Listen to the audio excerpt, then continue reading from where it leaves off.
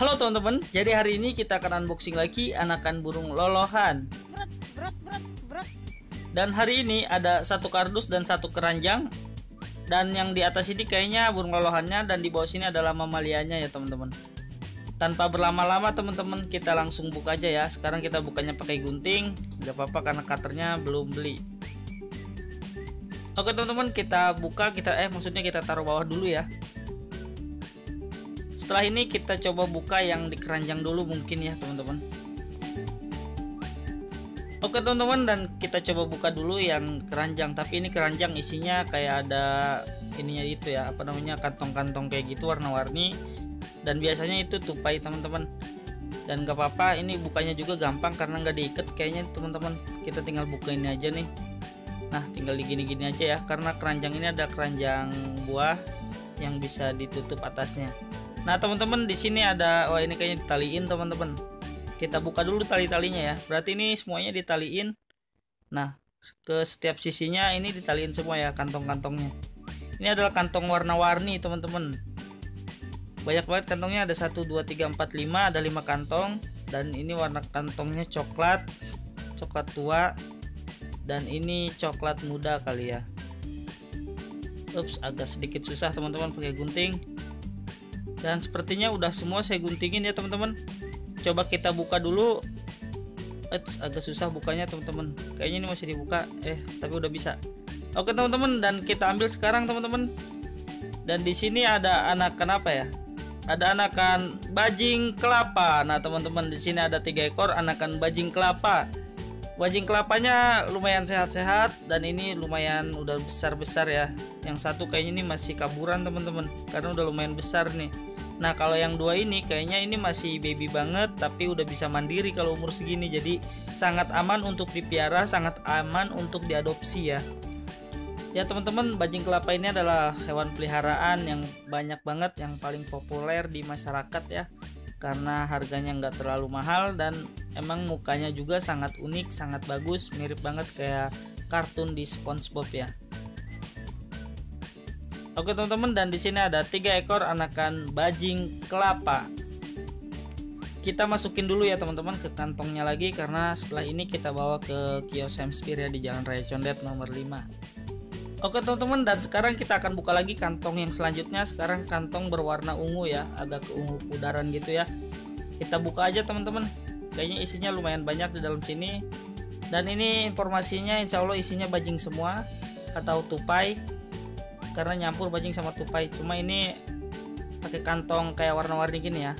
Enakan pakai kantong seperti ini teman-teman. Pertama dia hangat. Kedua memang jadi beberapa kali saya ngirim kalau pakai kantong ini dia sangat aman. Nah teman-teman di sini ada tiga ekor lagi. Anakan bajing kelapa.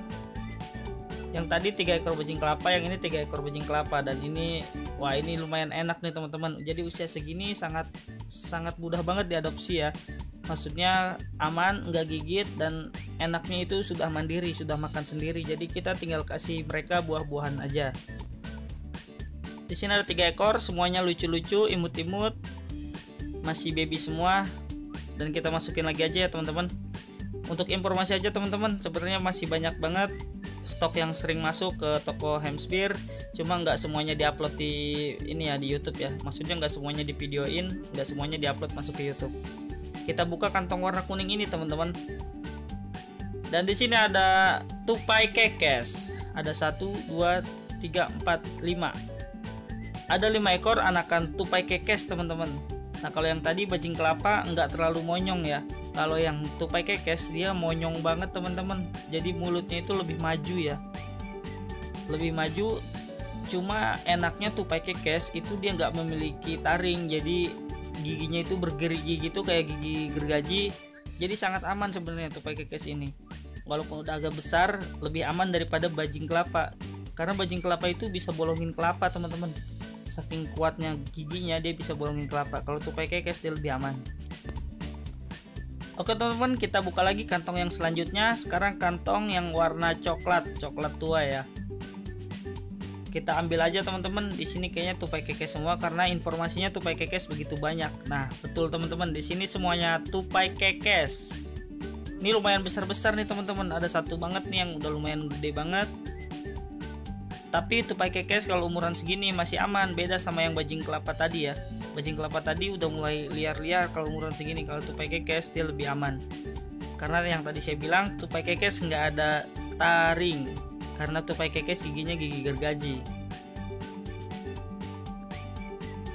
Tupai kekesnya kita cek semuanya insya Allah sehat-sehat ya teman-teman. Karena video ini juga buat bukti ke pengirimnya bahwa hewan dan burungnya semua ini insya Allah aman-aman dan sehat semua. Oke teman-teman dan di sini ada yang terakhir nih teman-teman. Kantongnya warna hitam. Insya Allah ini juga tupai kekes. Kita ambil dulu teman-teman. Oh yang tadi itu 6 ekor ya teman-teman nah kita ambil yang di sini ada berapa ekor teman-teman? Di sini ada tuh 2 3 4 5 ada 5 ekor teman-teman. Tadi 6 berarti totalnya 16 ekor tupai kekes teman-teman. Kita langsung masukin aja ya. Jadi tupai kekes totalnya ada 16 ekor hari ini. Untuk hewannya ini kirimannya dari Cilacap ya teman-teman. Sebenarnya kemarin dia udah ngirim dan hari ini dia ngirim lagi teman-teman dan yang kemarin kirimannya nggak saya videoin karena banyak banget kiriman nggak saya videoin teman-teman. Jadi ada beberapa doang yang saya videoin dan masukin ke YouTube ya. Oke teman-teman kita buka aja pakai gunting ya. Karena gak ada cutter agak susah teman-teman. Kalau pakai cutter enak ini. Tret tret aja ya kan. Tret tuh kan susah teman-teman pakai gunting. Tapi ini udah bisa kebuka teman-teman. Dan coba kita lihat isinya ada apa ya dan di sini ada anakan burung palau. Di sini ada 6 ekor anakan burung palau. Burung ini mempunyai mitos yang kalau misalkan kita melihara kalau di kampung-kampung saya itu mitosnya adalah kebakaran teman-teman. Jadi kalau kita pelihara burung walet itu konon katanya bisa kebakaran rumahnya. Seperti itu. Wah ini teman-teman kayak ini masuk nih. Ups. Dia makan tali teman-teman tapi insya Allah semuanya aman sehat.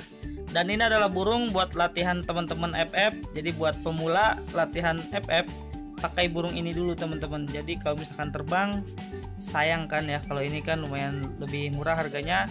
Dan kalau misalkan terbang ya udah gak usah sayang deh. Dan untuk mitosnya itu percaya atau enggak cuma rata-rata anak-anak di kampung atau di desa itu percaya bahwa melihara walet itu bisa kebakaran rumahnya Oke teman-teman dan kita lihat lagi di sini ada beberapa ekor anakan burung loreng. Nah kalau loreng ini ini juga sebenarnya satu family sama walet ya teman-teman mungkin karena cara terbangnya sama cuma ukurannya kalau loreng itu lebih besar dan ini mirip ke kekep babi kali ya cara terbangnya. Jadi cara terbangnya itu banyak kepakin sayap tapi nggak terlalu banyak banget kayak kekep babi cuma lebih enak melayangnya di atas udara. Dilihatnya pun lebih enak dan ukurannya lebih besar daripada palau ya. Dan ini adalah burung loreng teman-teman sebutannya.